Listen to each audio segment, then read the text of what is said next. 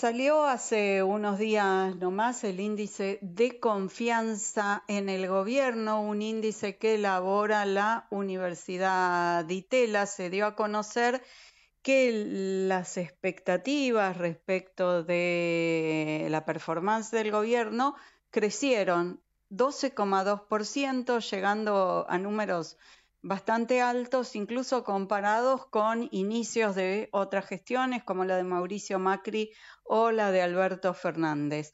Eh, vamos a analizar los datos que, se obtuvieron con un hombre de la Universidad de Itela. Está con nosotros Juan Negri, que es el director de la carrera de Ciencia Política de esa universidad. ¿Qué tal, Juan? Un gusto saludarte. Soy Laura Sverdlik. ¿Cómo estás? ¿Qué tal, Laura? ¿Cómo estás? Bien, bienvenido al programa. Muchas gracias. Em, este dato auspicioso que indica que la confianza en el gobierno subió 12% en octubre, eh, ¿a qué responde? ¿Qué es lo que vio la ciudadanía como para aumentar el crédito que le da el gobierno? Yo creo que em, la suba del índice se, apoya en una serie de buenas noticias económicas que, que tuvieron lugar en los últimos días, eh, sobre todo la, baja de la inflación y, un ligero aumento del salario real, la, estabilidad del dólar, eh, tres o cuatro variables que, afectan el, día a día de los ciudadanos y, que venían bien, ¿no? Es decir, que, mejoraron un poco, entonces dan una sensación un poco más de, alivio eh, a la ciudadanía. Y entonces esto creo que le da un poco más de crédito al, gobierno de, de Milei. De todos modos, el, índice venía bajando, ¿no? Entonces, en realidad lo que está pasando es que hay, hay como ciertas oscilaciones, eh, pero que en general el nivel sigue estando bastante estable, ¿no? O sea, Milei sigue siendo un, presidente razonablemente popular, eh, que mantiene la, coalición de la segunda vuelta, ¿no? Es decir, los, que lo votaron en la segunda vuelta posiblemente hoy lo, lo seguirían haciendo. Lo seguirían apoyando. Ajá. Y en comparación.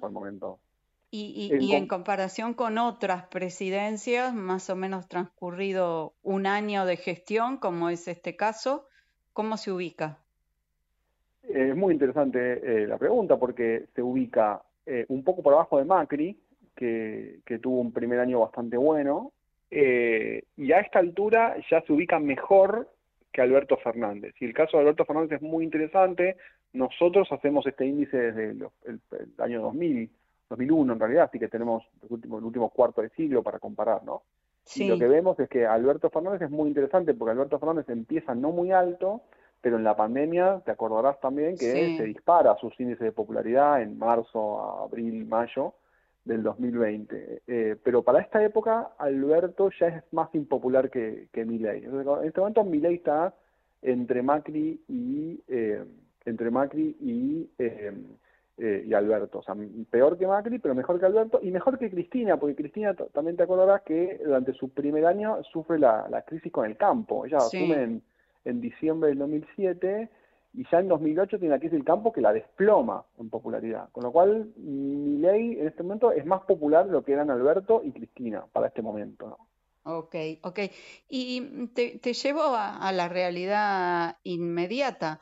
Medidas como em, despedir a la canciller, Diana Mondino, que, tanto trabajó en la campaña y tanto lo ayudó y, y la verdad era mm, la voz técnica entendible de la economía para el público en general, estuvo en tantos medios hablando de la libertad avanza y de los programas, em, no sé, la salida de la canciller, eh, además despedida del gobierno por un voto hoy a favor de Cuba en Naciones Unidas, ¿suma confianza en el gobierno o resta?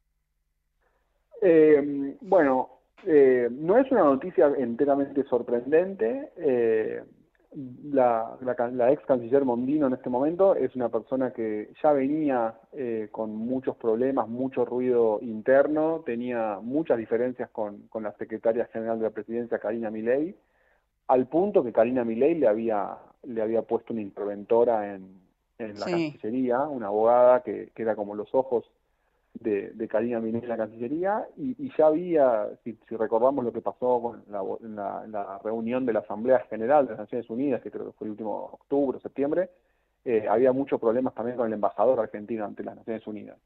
Eh, entonces, no es enteramente sorprendente que ya venía habiendo problemas con este tema. Diana Mondina, efectivamente, en la previa de las elecciones fue uno de los puntales mediáticos de la Libertad Avanza, como decías vos, en el tema económico, una persona que con mucho, un perfil muy alto, un perfil en redes muy alto, que defendía al gobierno, pero no sabía mucho de política exterior.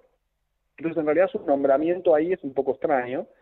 Eh, y, yo creo que tiene que ver con eh, el choque entre eh, la voluntad de Milei y el deseo de Mondino de apoyarse en el servicio exterior profesional. Es decir, eh, ella un poco defendía a los, a los diplomáticos de carrera y Milei prefería una política exterior mucho más alineada. Recordemos que hace, hace unos días Milei eh, eh, firmó una, una, circular en la que le, dice a los diplomáticos que o siguen la línea del gobierno o se tienen que ir del servicio exterior. Entonces yo creo que esta contradicción es la que termina hundiendo a, a, Diana Undino.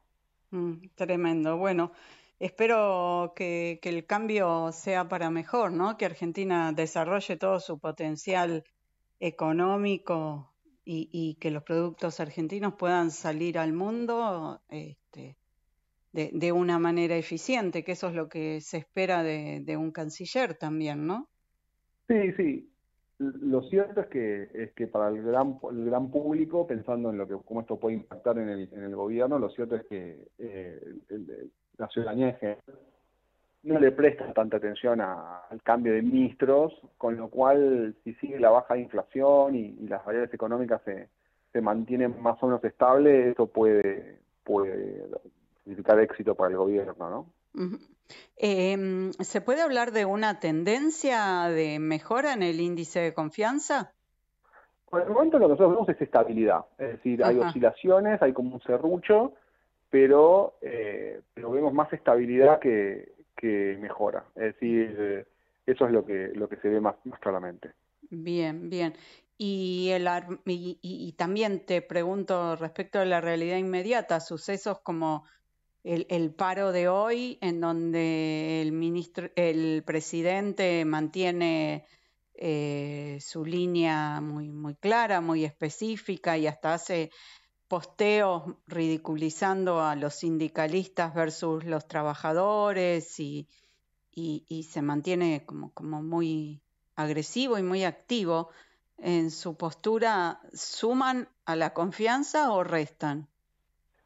Eh, mientras Milei sea un presidente popular, esas cosas no lo afectan tanto. Eh, lo que pasa que el presidente, creo yo, piensa que esto va a durar para siempre, que esta luna de miel va, a durar para siempre y que él se la sabe todas y que está clarísimo que el rumbo es el correcto.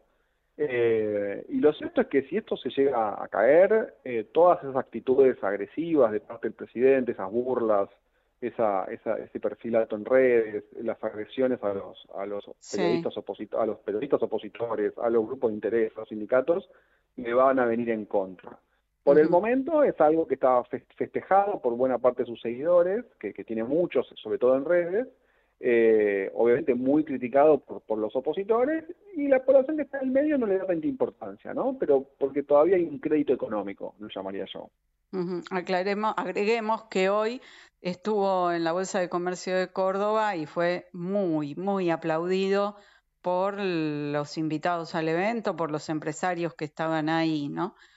Eh, ahí también entre los empresarios tiene un, gran apoyo.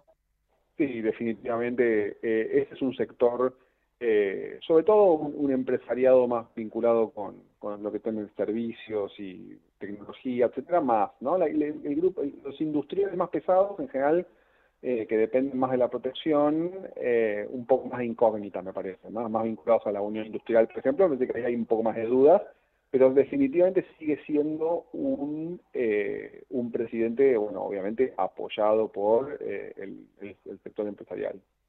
Muchísimas gracias, Juan Negri, eh, director de la carrera de Ciencia Política de la Universidad de Itela, por haber estado aquí en A Cambio de qué con nosotros. Fue un placer. Hasta la próxima, adiós. Tal vez.